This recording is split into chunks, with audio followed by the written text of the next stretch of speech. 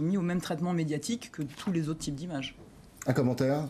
Oui, moi je crois que c'est assez sain au fond que la société reprenne vie rapidement. Euh, c'est d'ailleurs le plus bel acte de résistance qu'elle puisse euh, déployer. Euh, je ne crois pas que la société française, moi, elle s'habitue au terrorisme. D'ailleurs, je ne crois pas qu'on puisse s'habituer au terrorisme.